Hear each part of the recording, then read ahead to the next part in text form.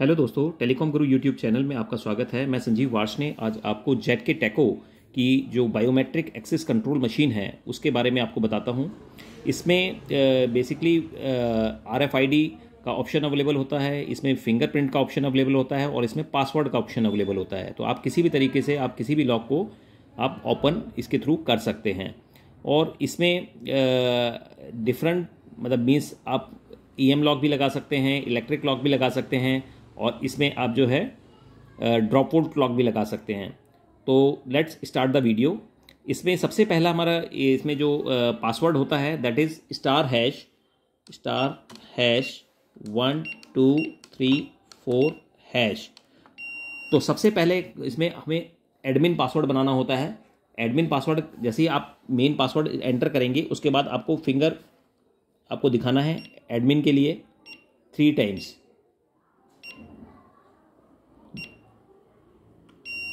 जैसे ही लंबी बीप आ जाती है तो दैट मीन्स कि आपका जो है वो एडमिन रजिस्टर हो गया है और उसके बाद आप हैश प्रेस करके बाहर आ जाएँगे। और हैश प्रेस करके बाहर आने का मतलब है कि अब आप कोई भी इसमें प्रोग्राम कर सकते हैं। अब सपोज़ हमारे को कोई यूज़र रजिस्टर करना है यूज़र मतलब अपनी फिंगर रजिस्टर करनी है तो उसके लिए एडमिन पासवर्ड आपको डालना पड़ेगा। अब इसमें देखिए, अब हमारा पासवर्ड पहले star hash one two three four था स्टार हैश अब आपको जो है फिंगर आपको दिखानी पड़ेगी, जो एडमिन फिंगर है। ये लंबी बीप आ गई। दैट मीन्स कि आप प्रोग्राम मोड में एंटर कर गए हैं। अब हमारे को हैश प्रेस करके लोकेशन नंबर सपोज़ हमें वन थाउज़ेंड लोकेशन में डालना है। हमने वन थाउज़ेंड लोकेशन एंटर किया और देन हैश तो अब हमने, अब इसमें हम अपनी फिंगर लगाएँगे, जो भी हमारी यूज़र फिंगर है, ये हमने यूज़र फिंगर लगाया।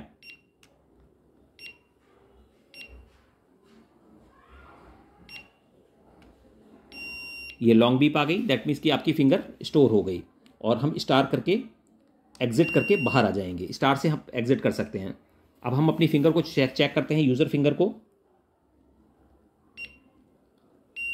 ये देखिए, इसमें लाइट यहाँ पर ग्रीन हो गई। दैट मीन्स आपके लॉक आपका ओपन हो गया। रिले की आवाज़ आपकी आ गई।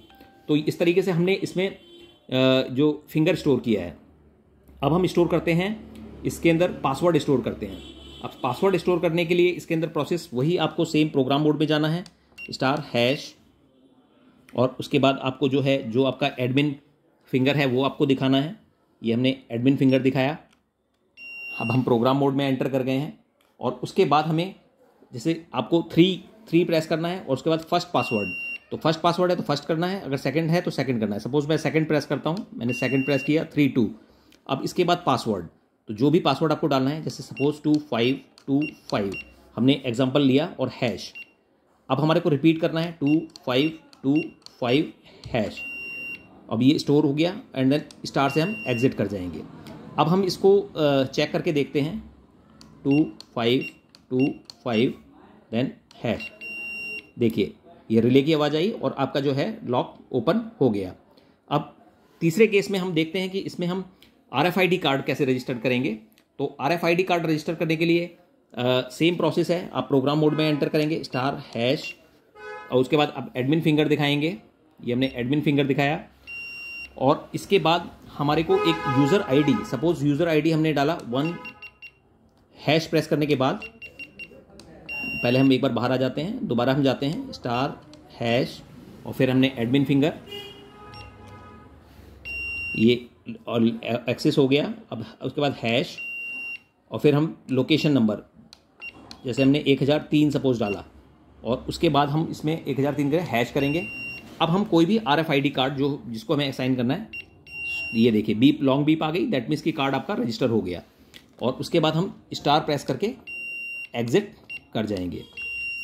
और इसके बाद हम जब कार्ड को शो करेंगे, ये देखिए रिले क्लिक हो गया और आपका लॉक ओपन हो गया। तो इस तरीके से हम फिंगर भी रजिस्टर कर सकते हैं, कार्ड भी रजिस्टर कर सकते हैं और पासवर्ड से भी कर सकते हैं। तो अगर आपको हमारा वीडियो अच्छा लगा हो तो आप हमारे वीडियो को लाइक ज़रूर कीजिएगा एंड चैनल को सब्सक्राइब कीजिएगा and press the bell icon. Thank you.